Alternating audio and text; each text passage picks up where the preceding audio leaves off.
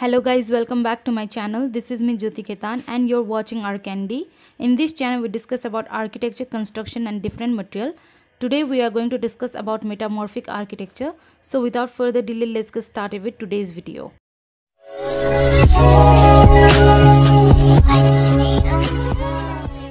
Metamorphic architecture is an architectural movement that developed in Europe during the mid 20th century.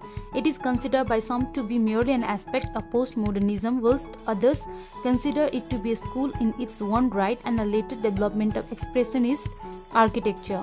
Certain architects have also been known to utilize metaphors as a theme throughout their work, such as Le Corbusier and the open hand motif.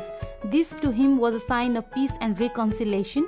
It is open to give and open to receive.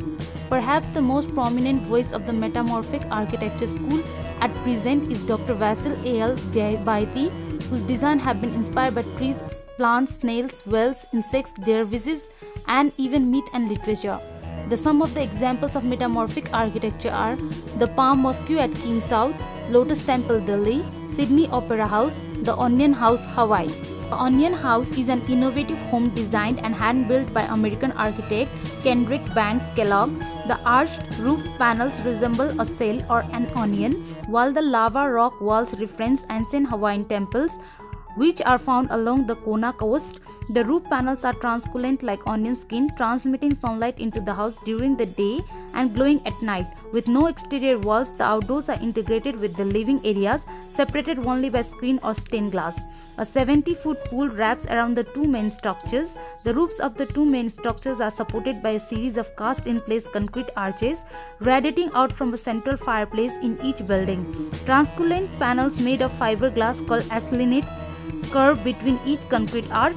These roofs are crowned with hand-cut red wood shingles topped by steel spires. Massive lava rock walls form a high terrace overlooking the ocean. These walls flow uninterrupted from the outside to the interior, right through the glass and screen walls. These rock walls are thicker at the bottom, slanting upward like the walls of Hawaiian temples. These very site-specific architecture works in the gentle climate of Kona, where trade winds are buffered by Mount Hualalai and temperature range between the 70s and 80s. Sydney Opera House The Sydney Opera House is a multi-layered centre for performing arts located in Sydney, New South Wales, Australia. It was conceived by the Danish architect Jørn Utzon who built most of it. Lotus Temple The Lotus Temple located in Delhi, India is Baha'is house of worship that was dedicated in December 1986 Notable for its flower-like shape, it has become a prominent attraction in the city.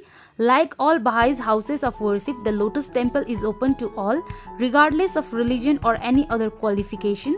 The building is composed of 27 freestanding marble-clad petals arranged in clusters of 3 to 4 form 9 sides with 9 doors opening onto a central hall with a height of slightly over 34.27 meters and a capacity of 2500 people.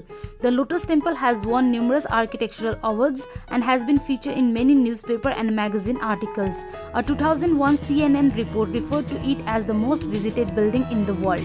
Guys, this much for today's video. I'll see you in the next video. Until next time, stay tuned to my channel and don't forget to like, share, comment and subscribe to my channel. Please press the bell icon so that you will be notified whenever I upload a video. Thanks for watching. Bye-bye.